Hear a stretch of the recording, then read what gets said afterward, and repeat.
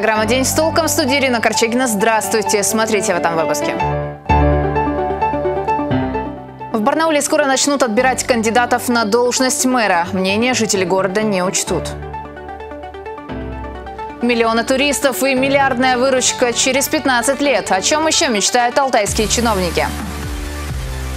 Когда приходят квитанции сложными цифрами, а управляющая компания раскидывает свои же долги на собственников. Теперь я на пенсии, так сказать, и я вот смотрю на этот беспредел и сказал, если бы у нас в армии был такой беспредел, мы бы давно это все прикончили. Когда и как будут выбирать городоначальника Барнаула, сегодня решили окончательно. Горожанам выбор не доверили, за них это сделают депутаты городской думы. С подробностями Андрей Дреер.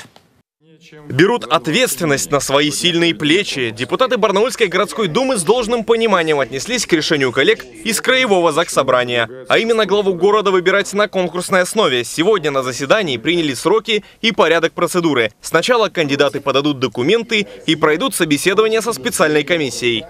Каждый кандидат представит свое видение развития города Барнаула, как он видит э, деятельность как главы, так и администрации, как э, видит взаимодействие с э, краевой властью, с депутатами Барнаульской городской думы. Будут заданы соответствующие вопросы, далее конкурсная комиссия будет принимать решение.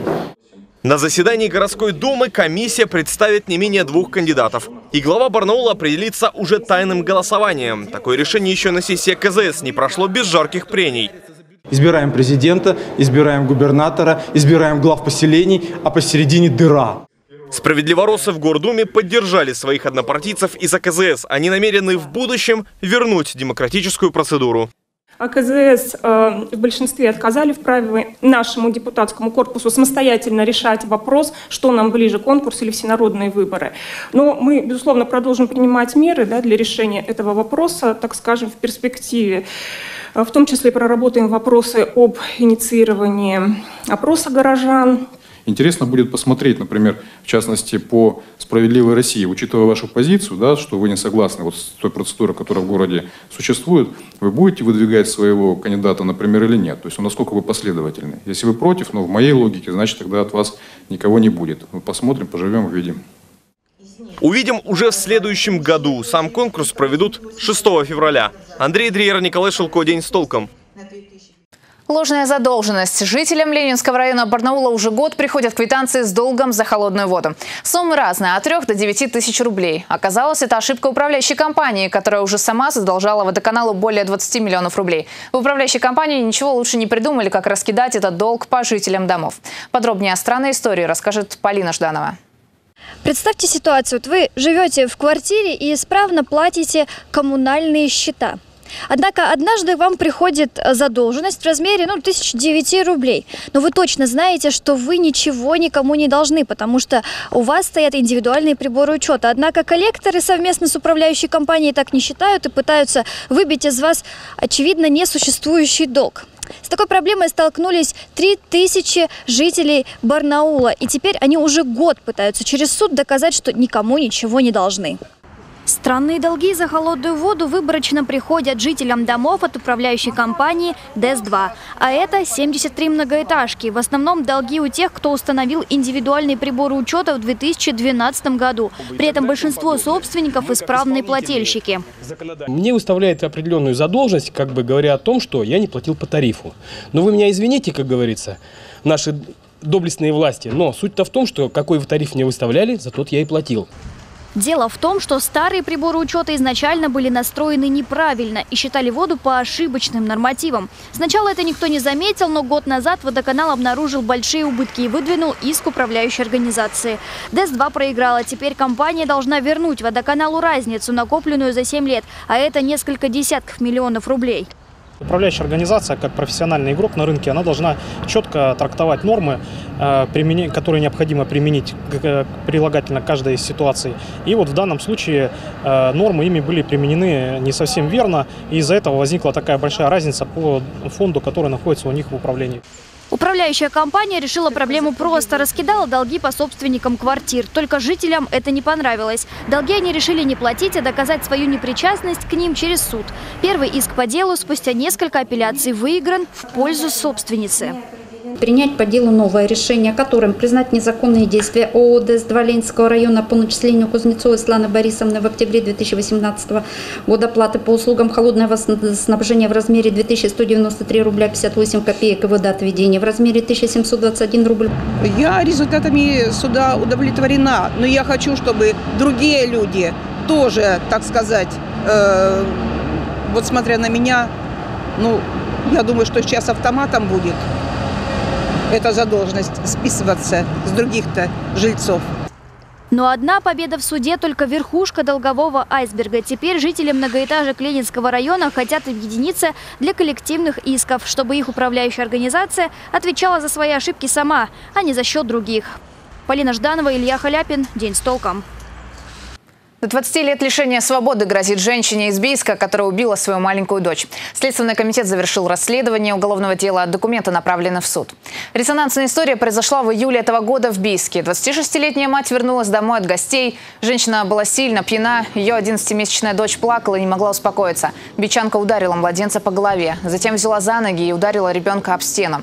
Девочка умерла от кровоизлияния. На утро мать завернула дочку в пакет и подбросила в один из жилых домов Бийска. Следователь следователям она призналась, что всегда желала смерти ребенку, так как дочка мешала ей вести праздный образ жизни и отнимала много времени. Известно, что два года назад у нее уже умер маленький сын от инфекции. Тогда возбуждать уголовное дело не стали. Цветет и дурно пахнет. Михайловское озеро после расчистки, в которое вложили миллионы рублей, превратилось в болото.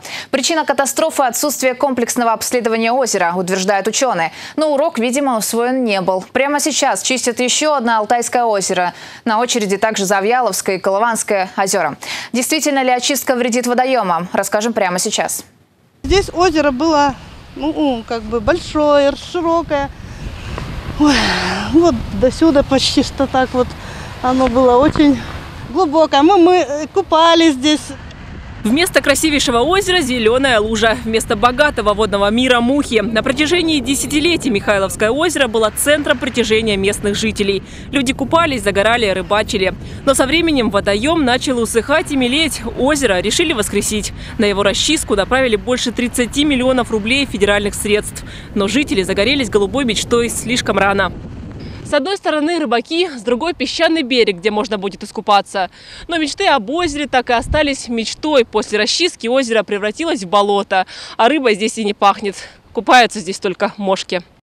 Чистили и углубляли Михайловское стандартно грубым методом. Земснарядом, который достал со дна не просто иловые отложения, но и истребил все живое. Озеро, конечно, углубилось на полметра, но при этом практически погибло. Кстати, вспоминается печально известный манжирок Республики Алтай, где расчистка также привела к исчезновению редких видов растений и животных. Причина – отсутствие комплексного обследования перед стартом работ при планировании работ по очистке озера надо посмотреть, а надо ли убирать было все высшие растения. Они же перехватывали часть биогенных веществ. Соответственно, надо ли было углублять всю акваторию озера. Людям-то нужно ведь не все было озеро, а только его часть. Поэтому тонкая э, программа по исследованию предварительному и отслеживанию процесса реабилитации. Все работы выполнены в соответствии с ЦУ. По проектно-сметной документации отчитались чиновники Краевого Минприроды. А то, что озеро цветет, говорят, естественный процесс со временем пройдет. Попали в такой опять период времени, когда у нас в ходе весеннего половодья фактически то русло, которое должно было бы туда прийти, те объемы, они у нас не были спрогнозированы, они не поступили. Поступило меньшее количество воды. Следующий год будет более благоприятен в плане весеннего стока. Озеро заполнится в тех границах, в которые оно было, значит оно приобретет нормальные характеристики. Кстати, прямо сейчас миллионы уходят на расчистку Калядинского озера в Тюменцевском районе. Следующие в списке знаменитые на всю страну озера – Завьяловское и Колыванское. В Минприроды, конечно, заверяют, что прикасаться к ним будут лишь после полной экологической экспертизы. Правда, на том же Калядинском озере, где работы по очистке идут полным ходом, по словам экспертов Института водных и экологических проблем, комплексной экспертизы не проводилась. Валентина Аскерова, Алексей Фризин. День с толком. Миллионы туристов, миллиардная выручка, сотни комфортных мест для размещения. Таким видят чиновники и туроператоры туризм в Алтайском крае через 15 лет. Правда, при условии, что удастся реализовать стратегию развития туризма в Алтайском крае до 2035 года. Она является частью федеральной. Насколько планы реальны и что требуется, чтобы их выполнить, расскажет Илья Кочетков. Алтайский край – место красивое, нетронутое, удаленное от европейской части страны. В этом и его плюсы, и минусы, уверены эксперты. Привлечь сюда туристов извне, готовых заплатить немалые деньги за билеты, можно лишь доведя до мирового уровня, прежде всего, инфраструктуру края. У нас есть места, где до сих пор нет связи, нет дорог, нет там, средств размещения, либо их очень мало, и они не соответствуют требованиям. Но, в принципе, эта программа, на самом деле, сейчас тоже все оговорено. Одна из проблем, требующих решения, как сделать туризм на Алтае всесезонным. Из-за непредсказуемого климата и зимний, и летний отдых сильно зависит от погоды. Впервые чиновники решили отдельно выделить особые виды туризма – медицинский, кулинарный и прочие. Так, уверены они, будет проще получить финансирование под отдельные проекты. Решили внести ясность в статистику, сколько туристов реально посещает Алтай и кого вообще можно считать туристами. Совершенствование сбора, анализа, статистических показателей, э, внедрение единой методологии, в том числе расчета туристского потока. И стратегия оперируется такими, э, идет оперирование такими показателями, как численность размещенных лиц в коллективных средствах размещения. Документ, подготовленный чиновниками, рассмотрят те, кто непосредственно имеет дело с туристскими потоками, туроператорами и другими представителями индустрии. Они внесут свои поправки и предложения. Если все задуманное удастся, то к 2035 году турпоток в Алтайский край вырастет почти с 2 миллионов до 3 с лишним миллионов человек в год а выручка, полученная турфирмами и отелями, с 4,5 миллиардов рублей до 13 с лишним. Воплощать стратегию в жизнь планируют, начиная со следующего года. Илья Кочетков, Алексей Фризин. День с толком. Спектакль «Любовь и голуби» поставят на сцене музыкального театра Алтая. Будет ли постановка так же любима публикой, как популярный советский фильм, который, кстати, посмотрели более 40 миллионов человек? И чем отличается картина от сценической версии истории, выяснила Дарья Демиллер. Вы не похожи на скандалиста. Я не... из-за голубей. Формула хорошей постановки – это знакомый всем сюжет. Деревенская семья с тремя детьми, муж разводит голубей. Из-за травмы на работе глава семейства отправляется в санаторий на море. Там заводит курортный роман. Да, «Любовь и голуби» только на сцене.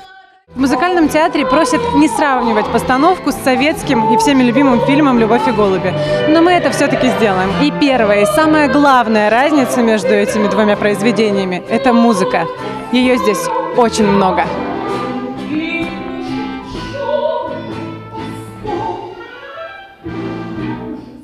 «Любовь и голубь» – пьеса Владимира Гуркина. С музыкой за все время существования ее ставят только третий раз. Уникальные мелодии написал московский композитор Андрей Семенов. В музыкальной комедии два акта. Есть какие-то сцены, которые были вырезаны по хронометражу. Фильм идет, по-моему, час двадцать, а у нас все-таки это будет где-то 2.15, 2.20, может быть. А какие-то сцены, да, которых нет в фильме, они будут. Вчера я выпил пару кружечек воды, надо было выпить водки, чтоб не снилось ерунды.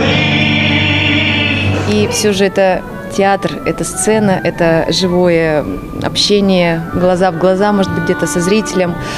Я думаю, что это все равно будет все по-новому, по-живому, но уже с полюбившимися зрителям, конечно, фразами и сюжетом. Кстати, о фразах.